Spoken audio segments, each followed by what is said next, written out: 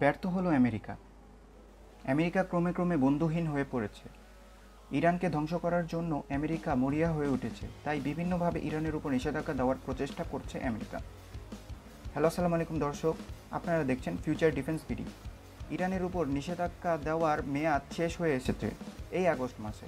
ইরানের পরমাণু কর্মসূচির উপর ভিত্তি করে গত তিন দশক ধরে ইরানের উপর নিষেধাজ্ঞা আরোপ করেছিল জাতিসংঘ ও আমেরিকা।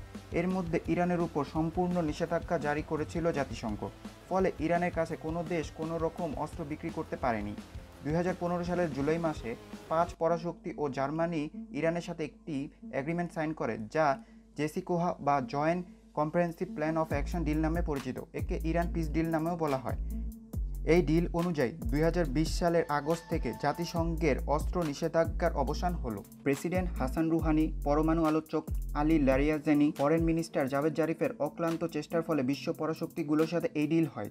চুক্তির শর্ত অনুযায়ী ইরান তার পরমাণু কর্মসূচি একেবারে কমিয়ে আনে তিন শতাংশে এবং পরমাণু বিদ্যুৎ কেন্দ্র চালানোর জন্য ইউরেনিয়াম সাপ্লাই দিবে চীন ও রাশিয়া।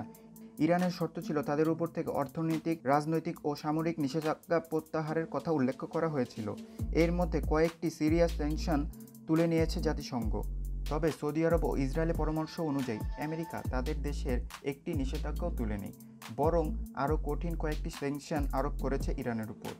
ইরানের অর্থনীতি ধ্বংস করার জন্য আমেরিকা সর্বাত্মক চেষ্টা করছে। ইউরোপীয় ইউনিয়ন যেন ইরানের সাথে কোনো রকম বাণিজ্যিক সম্পর্ক না গড়তে পারে, সেজন্য আমেরিকা ট্রেড দিয়েছে।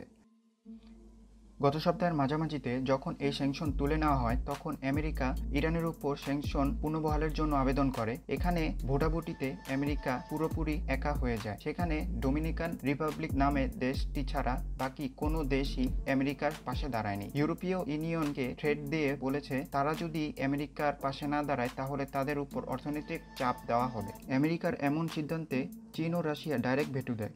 এখানে জার্মানি, ব্রিটেন এবং ইটালি ডাইরেক্ট আমেরিকাকে না বলে দিয়েছে। ইরানের সাথে তারা আর কোনো ঝামেলায় জড়াতে চায় না। শুধুমাত্র ইসরায়েল, ফ্রান্স, সৌদি আরব এবং আমেরিকা, এরাই এই ইরানের উপর স্যাংশন আরোপ করার জন্য উঠে পড়ে লেগেছে। সৌদি আরব ও ইসরায়েল ইরানের ডিরেক্ট শত্রুর মধ্যে পড়ে এবং ইসরায়েলের পরামর্শ অনুযায়ী ইরানের উপর আমেরিকা স্যাংশন দেওয়ার জন্য উঠে পড়ে লেগেছে। বর্তমানে আমেরিকার বন্ধুর সংখ্যা অনেকটাই কমে এসেছে এবং তার সবচেয়ে বড় পরাজয় হলো ডোমিনিকান রিপাবলিকের এই ভোটটি। এই ছোট দ্বীপ দেশটি ছাড়া কেউই আমেরিকার সাথে ভোট দেয়নি।